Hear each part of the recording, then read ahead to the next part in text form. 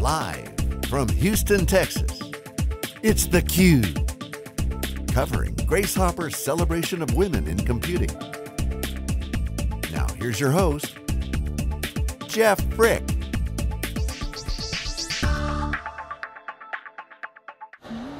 Hey, welcome back everybody. Jeff Frick here with theCUBE with Rebecca Knight. We are live in Houston at the Grace Hopper Celebration of Women in Computing 2016. 16,000 women and men really celebrating uh, women in computing, hardcore science, AI, ML, machine learning, autonomous vehicles, you name it, it's here.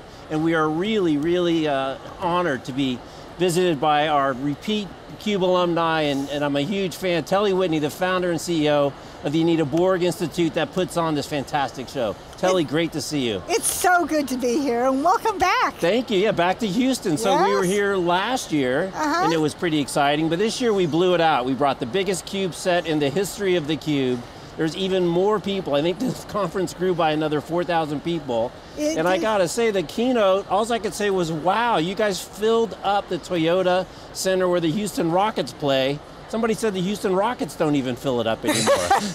it was so exciting during the opening session to look out and see all of these, mostly women, in this, I mean, in the stadium. And our opening keynotes, our two keynotes, just, I mean, they knocked it out of the ballpark. They did. Ballpark, or at least out of the stadium, I would say. Let's not mix our sports metaphors right. here. But, but right. Minute Maid Field is just down the street, so if you're here next year and you need a bigger space, they can accommodate well, okay, you just down go. the street. and again, I just, you know, we've talked about Anita Borg, the person, every time I think we've talked, and, and to think back to what you guys have started mm -hmm. and the vision that you had, did you ever think in your wildest dreams we would be here today? Well, this certainly has surpassed any of the dreams that we had. I mean, it's very exciting. But what's really exciting is the young women. I mean, the chance to come to here. I mean, earlier today I was in our booth and we had these women saying, oh my goodness, you know, I've never seen anything like this. I want to take this, I want to take this home. So my question for you is, every year it gets bigger and better, uh, more people, more panels what, what is different about this year? You, did you make any big changes from last year? Well, one of the things that we're most excited is about the diversity of the, the conference. On the main stage, we have 30% women of color, and you know, diversity is really important to us. I mean, certainly it's important to us to have more women at companies, and so it just makes sense that as we reach a broader audience, the attention to to ensuring that each and every person feels like they can look up and hear somebody on the main stage who looks like them is really important. Speaking of diversity, we have 1,000 men here, so they are in the distinct minority mm -hmm. of, co of conference participants. Do you want to see more men come, or do you want to keep it more of a, of a woman of a woman thing? What, what are your thoughts on that? Very good question. You know, men are important.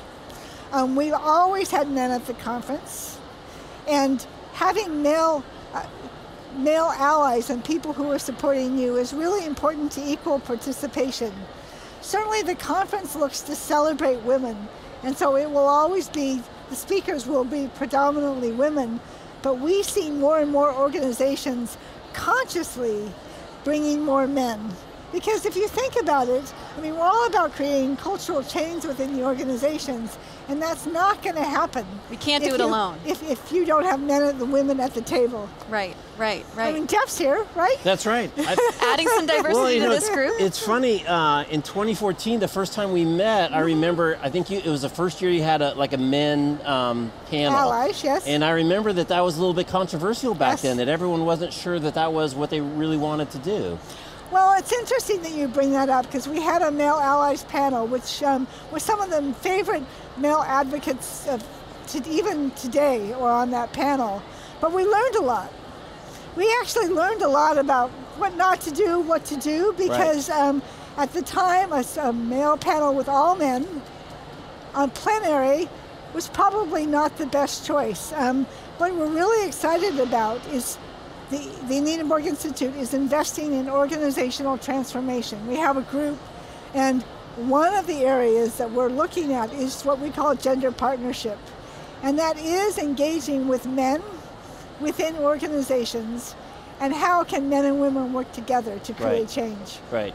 If you were to put a theme on this year's, I mean, this is a celebration of women in computing, but what do you think are really sort of the underlying themes that you're hearing both come out in the panels, in the plenaries, from the participants themselves? Just a few thoughts of what, of what are the dominant things you're hearing? Well, we've already talked about diversity, of having all women at the table creating technology from you know from, all different ethnic races. Um, I mean, community is what we're all about. So it's people come here if they want to make sure that we have great technical sessions, great professional development. Striking that balance. but ultimately, they're here for the community. I mean, it's the chance to meet other women who look like them that they can make a connection to. But I also, the last thing I will say is that each and every person needs to leave here with an action that they can take. And, you know, there's many ways that they can get there, but realizing that they too can make a difference. It was interesting. Elizabeth stopped by yesterday. Oh, good. Um, and she was talking, we were talking about the tracks, because I was looking through the tracks, and it's really everything that's hot now in technology. Like I said, AI, autonomous vehicles, machine learning. And she said how you guys are almost more a catalyst than actually putting on those tracks. It's, it's really the community, which, which triggered my thought, that gets the chairs together, puts the tracks together, gets the speakers, and you guys are really just kind of an enabling vehicle that enables the community to kind of self-decide what they want to present, what they want to learn. Well, that is absolutely correct. I mean, we are one of the few uh, technology conferences that have this broad reach within technology, and you named a few. But 75% of our content comes is submitted through our call for participation process. So we we find people who are managing their track chairs, and we have people submit. Um, and yes, this absolutely comes. We haven't we have not developed a set of experts on our on our staff. Yeah. When you think about the namesake of this conference, Grace Hopper, who is a real Spitfire uh, Navy Rear Admiral, one of the first computer programmers, male or female, in this country. What would you say if you could have Grace here at this table? I mean, what, what do you think she would say? What, how would she be impressed with the progress, or would she be discouraged by the by the low numbers? What do you think? You know, Grace Hopper was a programmer when there were very few women, and where she didn't necessarily like being singled out as a woman, um, she was very determined to get ahead. And that commitment to taking action was core to who she was. And so I do think that if he, she was here today, she would be excited by the young people. I mean, particularly excited by their enthusiasm in creating change and making a difference, of finding their own path. Yeah, it's it, it you know it's, it's obviously all the women that make this a different tech conference. A lot shorter lines uh, at the bathroom on the men's side. I don't know about the other side, but really I think the magic is in the youth. Like you said, the the percentage of, of girls that are either just getting out of school, just finishing school, or early on in their careers, I think adds an energy vibe that is unlike any any other conference. And you know, we brought we brought some of those with us uh, this this time, our tech fellows, and they're out scouring, they're getting interviews, they're bringing people on the cube, and I think that's really the secret sauce that makes us such a unique place. Well, we have a lot of students. About 35% of our attendees are either students or faculty, and we hold the firm on that. We actually keep a pot exactly for them. And if you think about our students, what's going to really matter is hearing for them is to hear the stories from the women who are just a little bit older than Right, them. right. I mean, yes, it's great to hear Ginni Rometty, but you know, she's too far away. Right. But if you hear somebody that's been working at Google or Facebook or um, for just a few years, that's very exciting. What do you think that those younger women, as you said, sort of the Google veterans who are now 40, say, um, what would you, what do you think it is that, that those young women need to hear? What are the words of encouragement, the words of inspiration that will make them say, hey, I can forge a career here. I want to stay in this industry. Um, you know, sexism d- be damned. When you're a young student, you're not necessarily thinking about sexism or how women are treated. In fact, it's really important point, for yeah. um, for most students to be recognized for their contribution and not be singled out as a woman albeit they're here at this conference. And so, what they want when they look for a job is the ability to have an impact, to make a difference. And so, the more that organizations can paint the picture of how they can come in and make that difference, that's the best recruiting tool in the world. Yeah, and there's no better illustration of you can change the world via software and technology than just the, the breadth of companies Yeah. here again. What's different about Grace Hopper than most tech conferences? You don't see Walt Disney, State Farm, the US Navy, Yes. uh, and Google all at the same conference very often. But the other piece I think is interesting is, is more the later in stage professional women. Robin Matlock, who's the CMO at VMware, um, they had a VM Woman track within VMware, the larger conference. Uh, and they had the Clayman Institute there, and it Oh, was a great. great panel. But she made an interesting comment. You know, she, she said, I was just so busy working and trying to make my career, I never really, I didn't feel necessarily um, any problems, but then it's kind of like she achieved, you know, CMO status and could take a little breath, you've done well, and then took a step back and said, you know, I need to take more responsibility, more active role, even though I didn't necessarily feel kind of put down on my way up. And kind of this enlightenment as, I don't, know how old she is, I don't want to guess, that wouldn't be a good thing to do, but, you know, but as a, as a later stage, you know, professional. Mm-hmm. Well, I'll make two comments about that because, yes, both men and women, you can, I mean, I've watched time after time when that light bulb goes on. One of my dear friends who was a very senior executive, I mean, she just wanted to be good at her job. And she was talking to this group of young women just almost accidentally. And she all of a sudden understood the impact that her words were having on them. And she realized how big of a difference that she could make. Um, you know, we also have something called the Technical Executive Forum. And what I hear from a number of the attendees is they thought everything was fine. And all of a sudden they had an issue with their company for one reason or another. And it made them look up. I mean, they were just busy building just the product. they were not against diversity. They would have said they supported it. But they had this aha moment when they saw a particular problem in front of them. How do you think that women should approach their careers? Because, eh, because we've talked about that tension and the, the sense of, I just want to go in there, do my job, and be the best engineer I can be, and yet also be mindful that there are biases, there are forces working against me. How do you, what, what is your advice to, to women in this field in terms of, of, terms of managing that tension? well, I make a couple of observations. One is that, you know, each of us is responsible for our own career, and so understanding what your dreams are, understanding what you really want, you just you have to do it. But you need to recognize that the environment is key. I mean, with our top companies work, many of these companies, they're putting them out, the, sign up that I actually participated in in top companies. And so there are ways to signal that some environments care more about you than others. And so paying attention to the kind of company that you are joining can make a huge difference. Right, and, and as you said in some of the other interviews, it's competitive for top talent. So these That's things right. really matter. And, They really do. And the millennials are less likely just to go with the job and, and do want to make a difference and do feel like the company cares and is doing more than whatever kind of their core business is.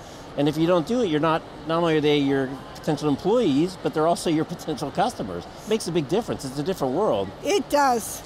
And this, these are going to become increasingly the factors that lead them to take the jobs. And uh, like you said, it's a very competitive landscape. Um, the one other point that I will make about companies is that every company is a technology company these days. If you look around the room, you mentioned some of them, Walt Disney. I mean, the NFL is one of our partners. I mean, they're the banks. I mean, BNY Mellon is a company that we've worked with for a while. Right. And so more and more of this diversity of business have huge commitments to technology. And much of the technical talent, which is in such demand, will often go to some of these other companies because they sometimes have better cultures for women. And so they're losing out not only on these potential uh, potential female workers, but mm-hmm. also female workers who can then design products for female customers. That's and that right. is- that is a big Right. thing. I mean, the customers, the companies that are looking for diverse workforces, is often all about their customers. There's no question. If 50% of your customers are women, and you walk in with a product team that's all men, It's, Right. it's a sign. Well, I heard, I heard something the other day. somebody day. notices. yeah, well, some, I, s- I read something somewhere, maybe here about it was like a, a physical fitness tracker that didn't take into account uh, a period. Like they just didn't think of it, right? Because it was probably four guys that Right. decided, you know, that's not on my calendar. I don't have to worry about that, you Right, know. right. So it really, I mean, it's a very simple uh, and tangible point that you know, again, the diversity of opinions, experience does provide better outcomes, which does drive profitability, which at the end of the day needs to happen beyond just the feel good and it's the right thing to do. That's really how you change behavior. You know, and some companies are taking this seriously. I have heard of a couple of stories where, you know, teams come in to a pros- prospective customer, and those teams are all men, and the customer walks away. They actually require diversity when, when working with a company. Yeah. So I don't want to stress you out, but let's talk about next year's conference and, and what, what is on the plate. What are you? We're gonna what do grow you, another I 5,000 know. I, people? I'm sure you need to just take a long vacation after this is over because this is such an extravaganza, and it requires so much planning and thinking. But in terms of next year. It, I mean, how much bigger do you want it to be? What What is on the agenda? Where, what do you want to do differently? We will continue to grow. We will continue to grow. We have controlled growth. I think you know that we sold out for 15,000 in 21 minutes. Was Um, it 21 minutes? 21 I knew it was. minutes. hou- I knew it was hours, not days. I didn't know it was minutes. That doesn't happen. I know. That doesn't happen. Rolling Stone doesn't. Yeah, I know. really. But we want to we want to make sure that we don't grow too fast because it's not just about quantity. We have to provide the quality.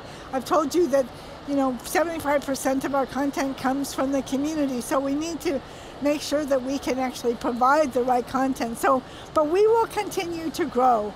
What we've seen is that increasing numbers of organizations are bringing large groups of their female employees that this is an important part of their of their retention and advancement strategy and so we acknowledge that that's happening we want to help them do that so i will we continue to see that the, the Grace Hopper celebration is a platform. So many of the organizations that we work closely, most closely with, Girls Who Code, NCWIT, among others, are here.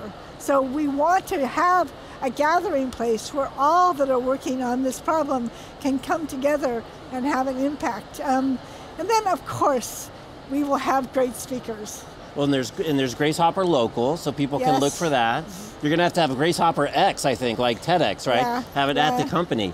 But the, but the But the ABI locals, I don't know if you're aware of this. We have GHC, I mean the GHC ones, the right, the GC hoppers. ones, right? And so we do expect to see an increasing number of those. Right. But then, the, the, but as, as we kind of come to the close, I want I want to wrap because this is such a personal place, and I think Mm-hmm. you know Ginni Rometty, CEO of a big company, Mm-hmm. Got so personal in her keynote, and I think really summed up the theme. If I may be so presumptuous, you know, don't let others define who you are, Yeah. which is short and succinct, wrapped up her story, and is really a big part of the message at this event. Right, I mean her keynote was very authentic. And she's a good example that um, sometimes CEOs want to come and give a business talk, but the conference, but the, but the keynotes that work the best is where they show part of who they are. Right. And she was a really great example of what we're looking for. So I was thrilled by by Yeah. what she had to say. All right, so I'll give you the last word. When should people start looking for the registration opportunity for 2017? The best part is to, to, to subscribe to our mailing, to our newsletter, because we will always keep you informed. But the most important next date is that in January, the call for participation goes out. So we encourage each and every person that's listening to this podcast that, I mean, to, to understand that they should be thinking about what can I contribute? What can I suggest and participate? Right. All right, well, I'm Jeff Frick with Rebecca Knight Telle. Thanks again for taking time out of your very busy day. There's 16,000 people that would love to sit down with you like this, so we're really honored and touched that you spent the time with us. It's always great to talk Thank to you, Jeff. Thank you. Absolutely. I'm Jeff Frick. You're watching theCUBE. We'll be back right after this short break. Thanks for watching.